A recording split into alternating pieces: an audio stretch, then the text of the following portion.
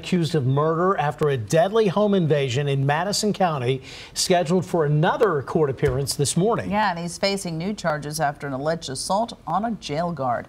Evelyn Schultz joins us back here in the studio this morning with this LEX 18 update. Good morning, Evie. Uh, Dia, Chris, good morning. We've been following Shannon Gilday for months now after he was accused in that home invasion in February. Now Gilday's facing new charges of strangulation and assault after an alleged fight with a jail guard earlier this month. Documents show during the incident, Gilday put his forearm on the guard's neck, who said he had trouble breathing and calling for help. Correction staff say the ordeal was caught on camera.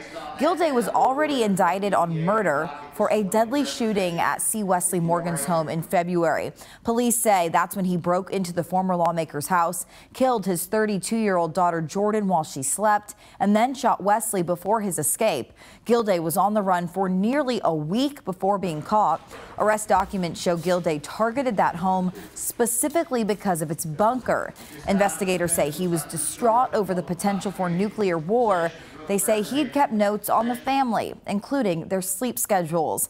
The preliminary hearing on these additional charges starts at 9:30 this morning in Madison County. We'll have a crew there and we'll keep you updated as we learn more. Dia, Chris, back to you.